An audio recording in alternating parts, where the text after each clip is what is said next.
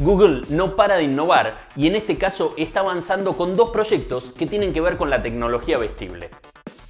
La compañía se asoció con Levis y en 2017 esperan vender una campera con una manga sensible al tacto.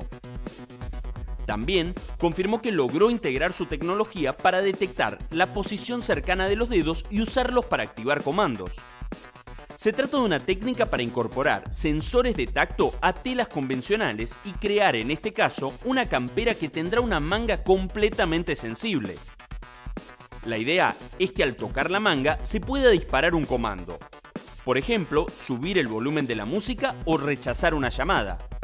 Esto no es nuevo en sí mismo. Hace tiempo que hay ropa que incorpora botones y superficies especiales para controlar smartphones o reproductores multimedia. El logro de Google es integrar la electrónica necesaria en la tela, lo que la hace casi invisible, permite que se pueda lavar en un lavarropas convencional y conservar la flexibilidad de la tela. Aún así, será necesario poner un cable con una pequeña antena y una batería dentro de la manga de la campera. El otro proyecto que debutó hace un año y que ahora también tuvo una actualización es Project Solid. Esta tecnología usa una suerte de radar de corto alcance para detectar la posición y movimiento de los dedos en el aire. La novedad es que lograron ubicar el chip detrás de la pantalla de un reloj inteligente donde es capaz de leer el movimiento breve de los dedos.